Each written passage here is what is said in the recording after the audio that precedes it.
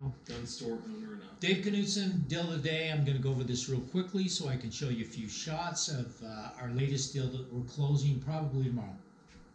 We were contacted by a loan broker who presented us with a loan to lend to an individual. He started out with $660,000, secured by 1.25 acres 9,300 square feet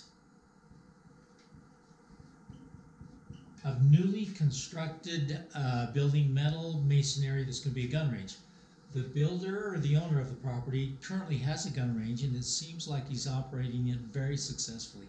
I went down and inspected the property. I liked his operation. He seemed to be doing quite well. He operates, uh, again, a gun store. He's got a gun range right now.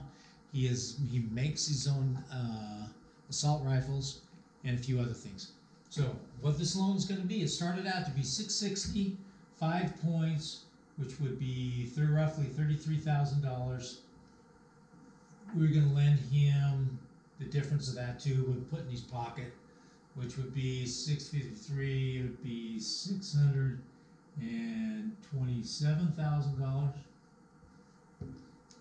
Out of that, there was a loan broker that brought the deal to us. The loan broker is going to make roughly eighteen thousand dollars.